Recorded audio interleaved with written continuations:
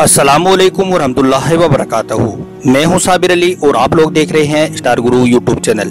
दोस्तों, आज के वीडियो में हम बात करने वाले हैं जो शख्स रमज़ान के महीने में बिना वजह यानी जानबूझकर रोजा नहीं रखता है या फिर रोजा रखकर जानबूझकर तोड़ लेता है तो उसकी क्या सजा होने वाली है?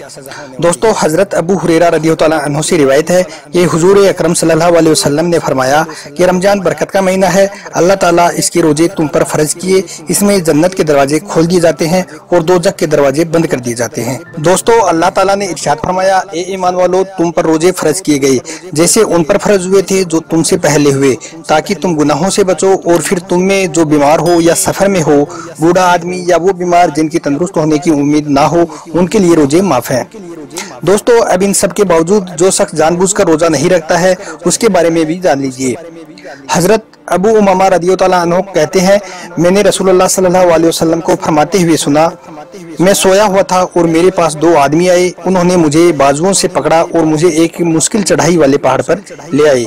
मैं पहाड़ की चोटी पर पहुँच गया, जहाँ मैंने सदी चीखे व पुकार की आवाज़ें सुनी। मैंने पूछा, ये आवाज़ें कैसी हैं?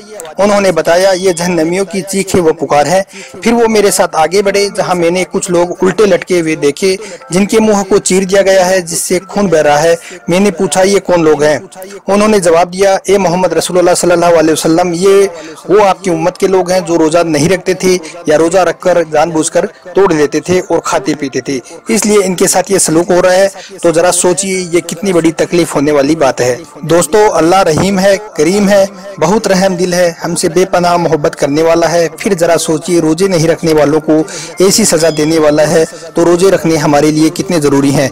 दोस्तों, जो भाई बहन रोज़े नहीं रखते हैं, वो अल्लाह के वास्ते रोज़े रखें, वरना आपका हसर बहुत बुरा होने वाला है। दोस्तों छोटे छोटे बहाने बनाकर रोज़े छोड़ देना बहुत बड़ा गुना है। दोस्तों इस हदीस से हमें रोज़े की अहमियत मालूम पड़ती है और रोजा तोड़ने का कितना बड़ा गुना है इस हदीस सजा से अंदाज़ा लगाया जा सकता है। लेकिन दोस्तों इस हदीस का मतलब ये भी नहीं है कि रो, हम रोजा खोलने में देरी करें। रोजा खोलने के वक्त से पहले इख्तियार कर लेना या फिर रोजा नहीं रखने को ही रोजा तोड़ना कहेंगे वही बताया गया है इस हदीस में।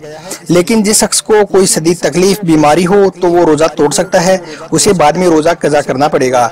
लेकिन दूसरी हदीस हमें तालीम देती है जैसे रोजा पूरा करने का वक्त हो जाए, फ़ौरन इख्तियार कर लिया करें। इख्तियार करने में देरी ना करें।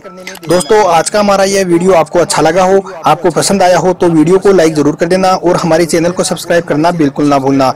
दोस्तों, वीडियो देखने के लिए आपका बहुत बहुत शुक्रिया। खुदा हाफिज़।